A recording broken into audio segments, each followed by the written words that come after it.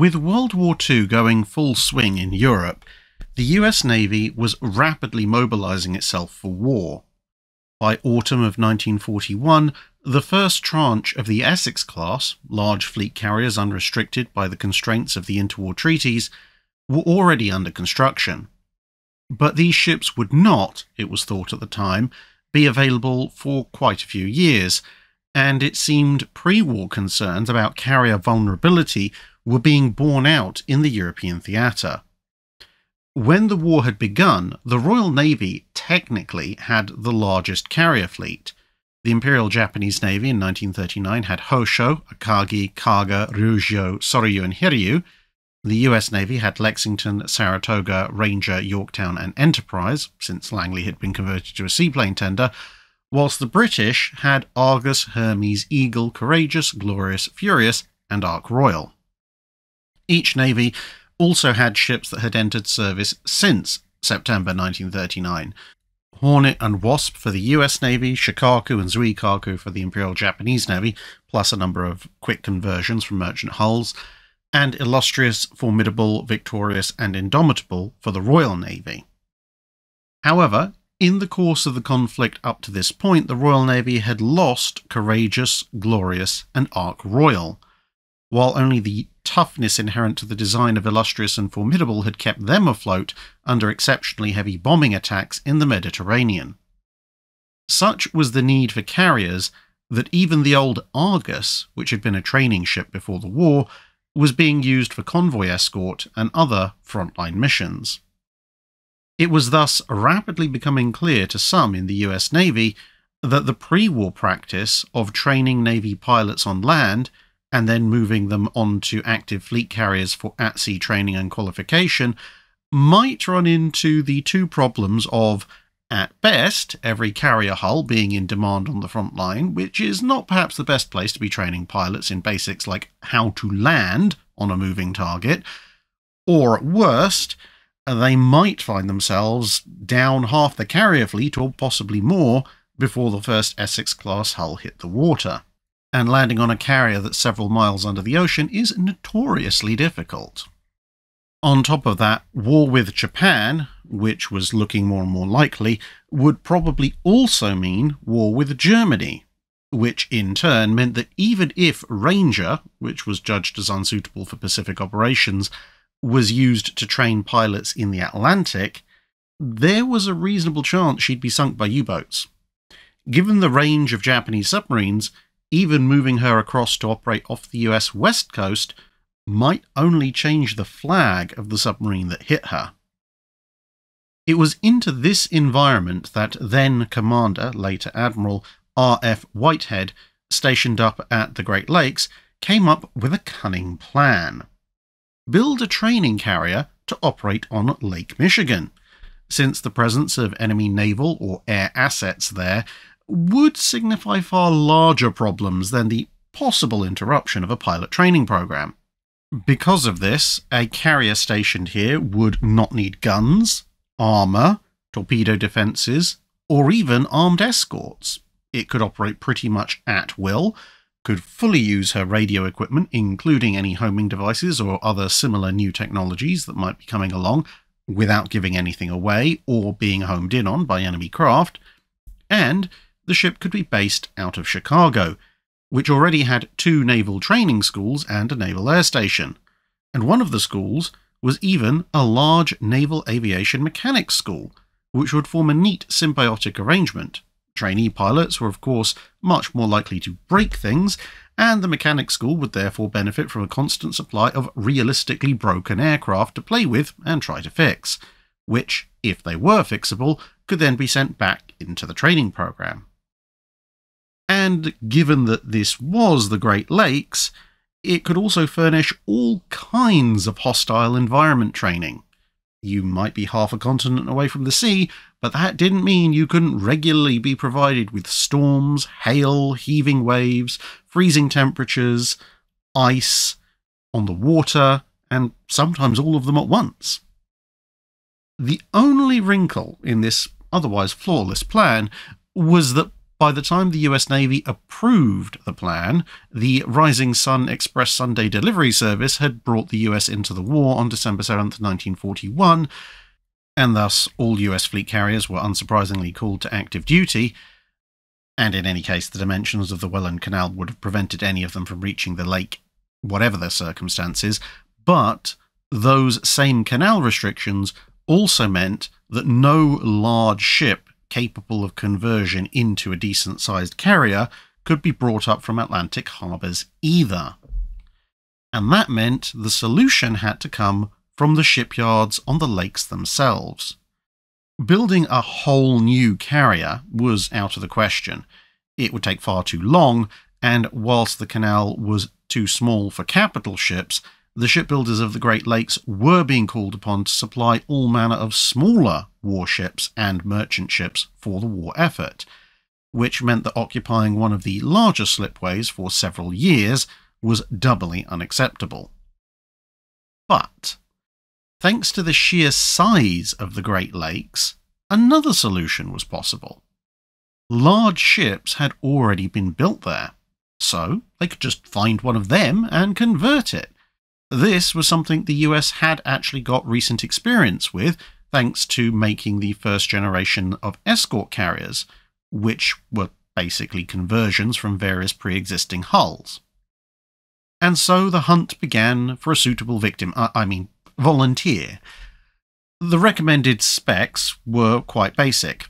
The ship had to be long and stable enough to support at least a 500 foot flight deck, and the ship had to be capable of a speed of around 18 knots, or ideally a bit better. An inventory of available shipping gradually narrowed down to two primary choices the car ferry SS City of Midland and the sightseeing steamer SS Seeandbee.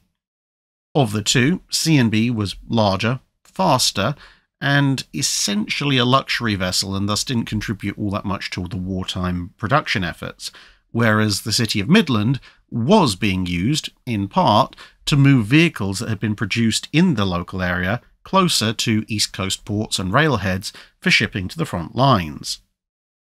Seeandbee had another advantage.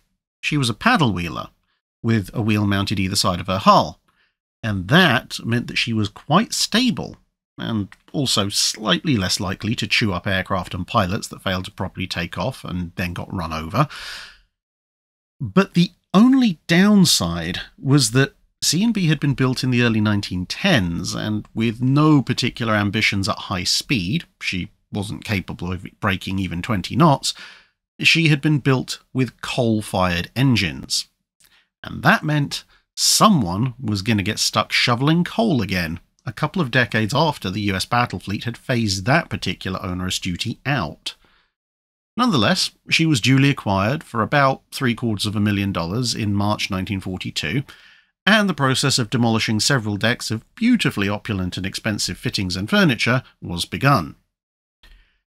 As this work went on, the scale of the US carrier training program was being ramped up considerably with the laying down of additional waves of Essex class carriers, the conversion of several Cleveland class light cruisers into Independence class light fleet carriers, and the sometimes eye watering attrition rates of trained carrier pilots that were occurring in the opening months of the war, at least when you compared killed in action plus missing in action plus those invalided out of the service to the total pool of qualified frontline pilots that were available at the start of the war not to mention the flight decks that were becoming available thanks to the escort carrier program, it was quite clear that even more pilots would be needed than had been anticipated. Plus, having another ship meant that, in theory, you would be able to chain their deployments to ensure long, continuous periods of training. Whereas one ship might need to refuel, or might even need to stop for a few days for maintenance, and thus miss a few good weather days, only to then be ready to sail when zero visibility fog banks rolled in.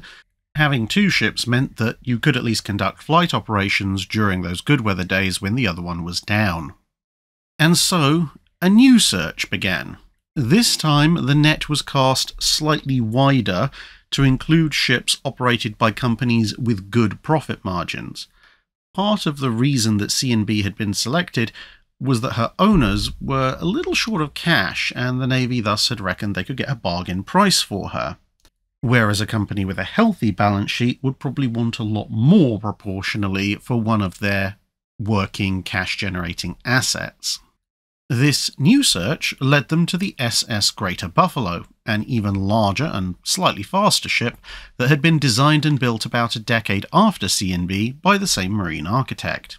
She too was an all-steel side paddle wheeler with coal-fired boilers, and so less than a week before Seeandbee was due to commission, Greater Buffalo was acquired and sent to the same shipyard, that of the rather generic but helpfully unconfusingly named American Shipbuilding Company, for conversion, and work on her began just as work on the Seeandbee was wrapping up. You can see her off to the left in this photo. SS thus emerged on the 12th of August 1942 as the USS Wolverine, the world's first coal-fired paddle wheel aircraft carrier. Without the need for a hangar, the flight deck was a pedestrian 26 feet above the water, a landing at that height would faceplant you into the floor of the hangar deck on a regular fleet carrier, but since of course you're supposed to aim for the flight deck markings anyway, this particular variation in height wasn't held to make much difference for pilot qualification. The width of the flight deck, on the other hand, was considerable.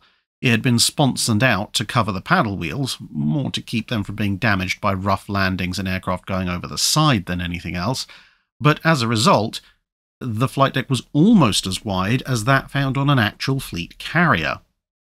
An island had been constructed on the starboard side, both for aesthetic reasons and to give a more realistic representation of what it was like to actually land on a proper carrier, plus it gave them somewhere to trunk all the boilers to.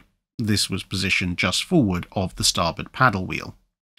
A basic signal mast rose above the island, and the flight deck turned out to be almost 560 feet long, thanks to a rather considerable stern overhang and a slightly smaller one at the bow. This was, of course, considerably shorter than the flight deck you might find on a Yorktown or Lexington class carrier, but it was about the same length as the one you might find on an Independence class, and it was 50 to 100 foot longer than what you'd find on an escort carrier, depending on which particular class of escort carrier you're looking at. Unfortunately for the crew, the luxury wood panelled accommodation of the original ship was gone, but the remaining spaces were still relatively roomy for the new crew and included a reasonable sized cinema, which was primarily for showing instructional films. The relatively inexperienced nature of the expected pilots was reflected in the installation of no less than eight arrestor wires strung across the flight deck, plus a raisable barrier. A few of those wires were there to catch the pilots who actually landed properly in the right place, whilst the majority were there to ensure that those who overshot, mostly at least, wouldn't end up in the lake. The name Wolverine had been selected for the ship in part because it would be operating on Lake Michigan, and Michigan is known as the Wolverine State. Some initial issues were experienced on the shakedown voyage, mostly centered around the engineering crew not actually knowing how to properly stoke the coal fired boilers, but once these were resolved, she was soon ready for service. The conversion work on the Greater Buffalo proceeded in a fairly similar manner, except that Wolverine had been completed with a wooden flight deck similar to US fleet carriers, whilst the newly renamed USS Sable would be a little bit more experimental. She would trial two different types of steel flight deck across the length of the total flight deck, and in good quality overhead shots, or shots that include a good portion of the middle and forward sections of the flight deck, she's also instantly recognizable as distinct from her half sister by the varied shades of the flight deck, which, as you can see, are divided into a number of rectangles and squares. Now, this isn't because they'd run out of paint and were forced to use slightly different shades all over the place, but rather each of those sections represents one of eight types of non-skid coatings, which were needed on a steel flight deck, which were all being simultaneously tried for effectiveness and durability. Sable would take somewhat longer to commission, as work on her was still ongoing when the winter really closed in, and so she would commission in May 1943. That left Wolverine as Queen of the Lake for the summer and autumn of 1942. A couple of weeks before she entered service, the unit that would supervise training aboard her was commissioned itself. But it ran into a few problems almost immediately as Naval Air Station Glenview, its official base, was just a little busy with various other training programs, and this meant that trainee pilots had to compete for both takeoff and landing slots, as well, well as hangar space. Luckily, there was another runway nearby at Orchard Place. This was slightly less heavily used as it was attached to a Douglas aircraft plant which made C 54 Skymaster transports, so as long as you dodged the occasional four engine giant undergoing flight trials, you should be fine. Later on, you also need to learn to keep your mouth shut and your eyes strictly on the approach vectors, as that particular site was also home to a great many experimental aircraft and most of the United States Army Air Force's array of captured enemy aircraft. Incidentally, it would be this airfield that would later form the basis for Chicago's O'Hare International Airport in the post war period. Two other fields, first Allendale and then later briefly Elgin, were also acquired as intermediate sites. Glenview and Orchard Place would be where the aircraft were based, whereas Allendale and it was hoped Elgin would be purely for trainees. They would be painted up to simulate carrier decks, without, of course, the problems of the deck moving or potentially the pilot falling into the sea. And then, once the pilots had proved they could reliably land on the small fixed non moving rectangle, they would be allowed to head out to Wolverine to try their hand at the real thing. And so, Wildcats, Dauntlesses, and other aircraft started to appear in the skies over Lake Michigan, and Wolverine began feeding a steady supply of interestingly broken aircraft to the mechanics school.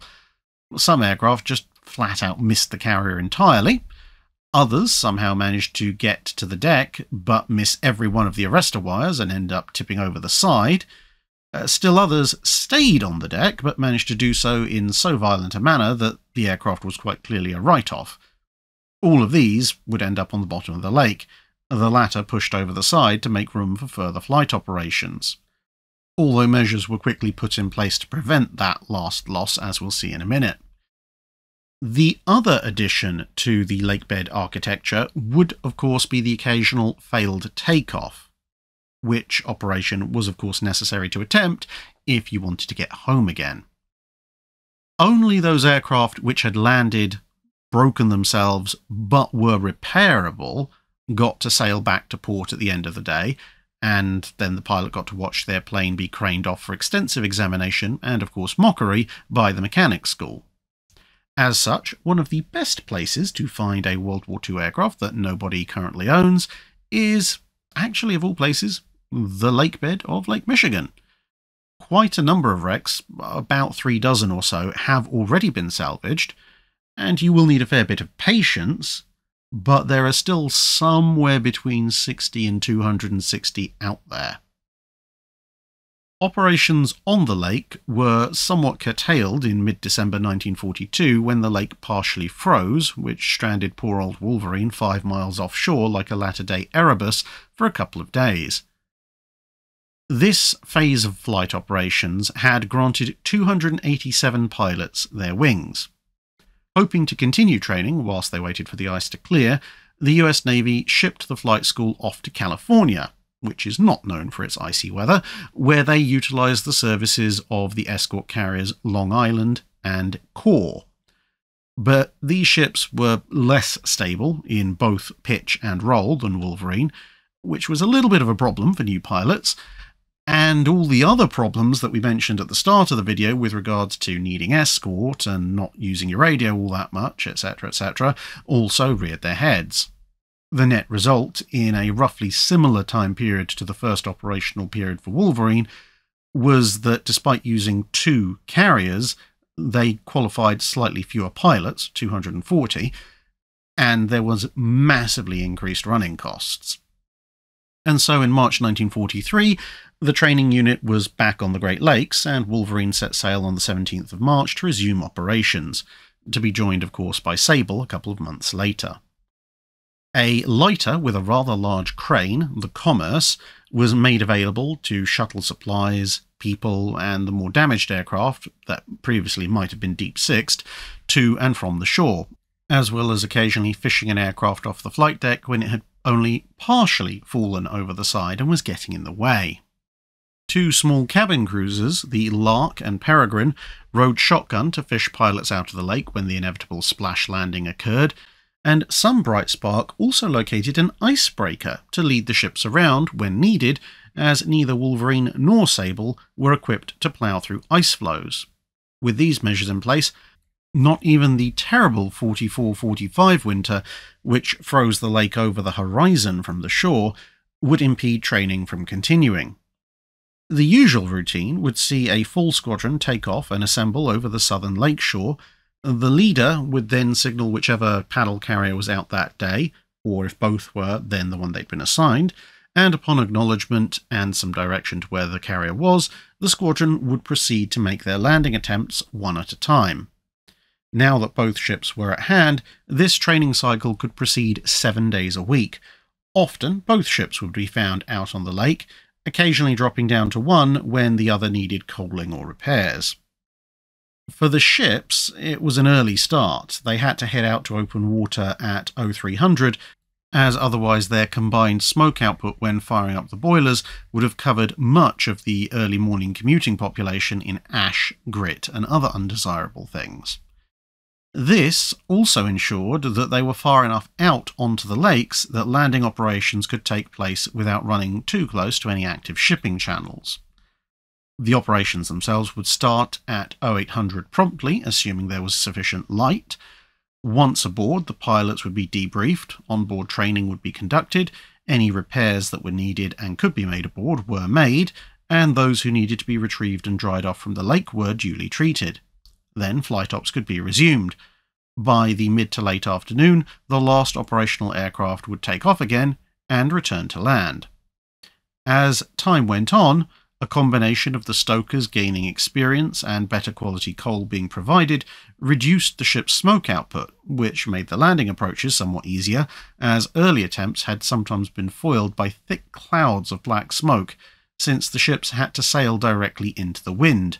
They lacked the speed to conduct flight operations without wind over the deck, and they didn't have the speed on their own to turn slightly away from the wind, which would have allowed them to redirect the smoke. Landing in a crosswind was also seen as slightly unsporting to throw at newbies. The ships would then spend the day heading generally north against the prevailing wind whilst flight operations were underway, turning around and coming back once the last aircraft had launched.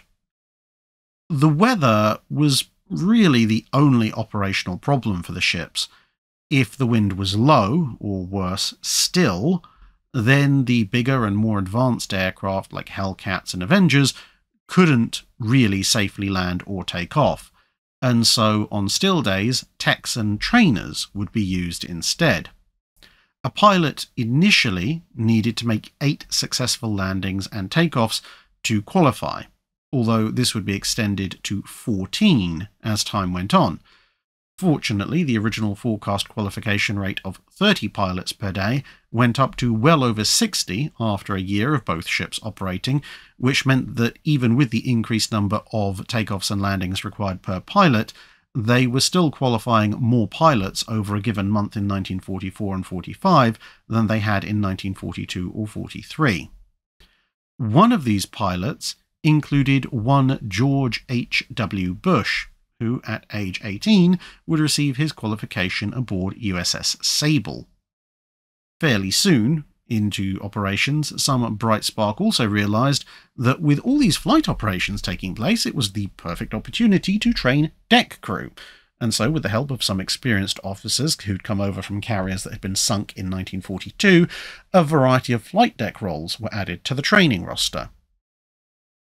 Also present at various points were pilots from the Fleet Air Arm. In the mid to late war, Wildcats, Avengers, Corsairs, and a few Hellcats were part of the Royal Navy's arsenal, and so fitting its pilots into the existing testing and training program made a lot of sense. Sable would also be the test bed for the top secret twin engined attack drones that the US Navy experimented with later in the war, and which Rex's hangar has done a very interesting video on. You can see some of them here aboard Sable, including one or two whose flight profiles, shall we say, were a little bit questionable. But hey, that's what product testing is for. Of course, all good things do have to come to an end, and with the Japanese surrender, the need for Wolverine and Sable also came to an end. The US Navy now had more carriers than it knew what to do with, and without the threat of war, and thus submarines, future training and qualification could be done on a fleet carrier, as per the pre war programs. The services rendered by the two ships were neatly summed up in a letter from the Chief of Naval Air Operations Training, which in part reads thus The USS Wolverine and the USS Sable have at all times been maintained in an efficient state of readiness and have qualified a total of 17,820 pilots for carrier duty. The skill and resourcefulness, the spirit of enthusiasm and teamwork demonstrated by all officers and men have made possible this high rate of carrier qualification commensurate with safety of operations. For the vital role in the mission of this command, the Chief of Naval Air Operations Training desires to extend to all officers and men his appreciation for a job well done and a heartfelt and warm farewell to our Great Lakes carriers. Both Wolverine and Sable would be decommissioned in early November 1945 and offered back to their original owners as per the contracts that had purchased them specified. But of course, the cost of turning them back into the floating palaces they'd been would have been absurdly high for private entities, especially as they would have had to recoup all those costs from the public later on, and so other uses for them in their current state were suggested. Car ferries being quite a popular suggestion thanks to the approximately 50,000 square feet of flight deck space, which was enough to accommodate over 500 typical cars of the period with room to spare. Which these days, I suppose, would correspond to a dozen F 350s, three Dodge Rams, and a Hummer. Or alternatively, as floating nightclubs, right up until somebody realised the flight deck made a great dance floor, but the lack of safety railing on the edges made for great liability suits when someone inevitably got a little too drunk and fell off the side. And so, without any realistic prospect of further use, both Wolverine and Sable would be sold for scrapping in 1947 and 1948, respectively. That's it for this video. Thanks for watching. If you have a comment or suggestion for a ship to review, let us know in the comments below. Don't forget to comment on the pinned post for dry dock questions.